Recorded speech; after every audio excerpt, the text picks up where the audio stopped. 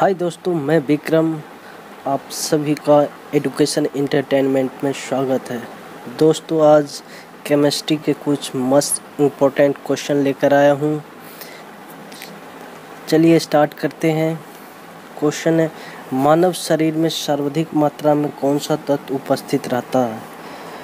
मानव शरीर में सर्वाधिक मात्रा में ऑक्सीजन उपस्थित रहता है। या क्वेश्चन इस टाइप के भी दे सकते हैं। पृथ्वी के भूपटल पे कौन सा तत्व तो सर्वाधिक मात्रा में उपस्थित है? उसमें भी ऑक्सीजन ही है। या धातु में हो अल्मुनियम होगा और उपधातु में हो तो सिलिकॉन होगा।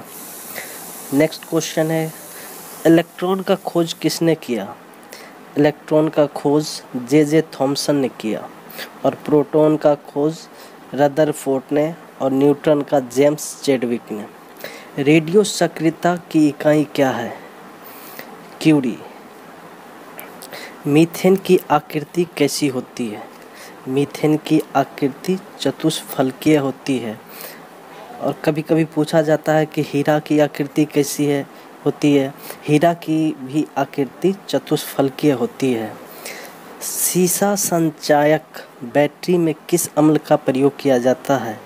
सीसा संचायक बैटरी में सल्फ्यूरिक अम्ल का प्रयोग किया जाता है, जिसका H2SO4 सूत्र होता है।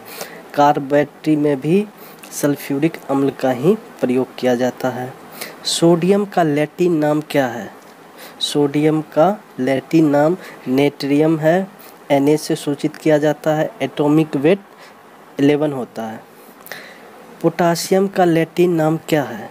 पोटासियम का लैटिन नाम केलियम है, जिसे के से सूचित किया जाता है? एटॉमिक नंबर 19 है। भूरा कोयला के नाम से किसे जाना जाता है? भूरा कोयला के नाम से लिग्नाइट कोयला को जाना जाता है। नेक्स्ट क्वेश्चन है, किस तत्व को मिट्टी के तेल में रखा जाता है?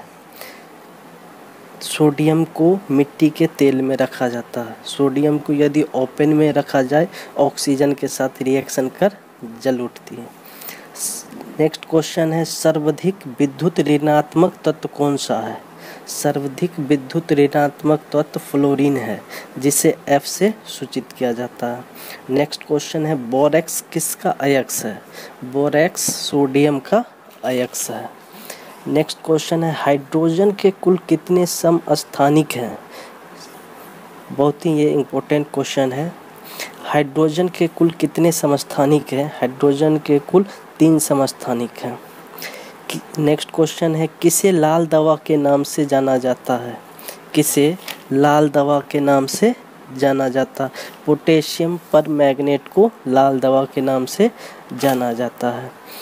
इस्पात में कार्बन की मात्रा कितनी प्रतिशत होती है? इस्पात में कार्बन की मात्रा 0.25 परसेंट से 1.5 परसेंट तक होती है।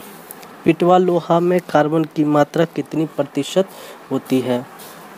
0.12 परसेंट से 0.25 परसेंट तक और सबसे कम मात्रा में कार्बन पिटवा लोहा में होता है। दोस्तों, अगर आपने चैनल अभी तक सब्सक्राइब नहीं किया है तो अभी सब्सक्राइब कर लें और वेल बटन को दबाएँ।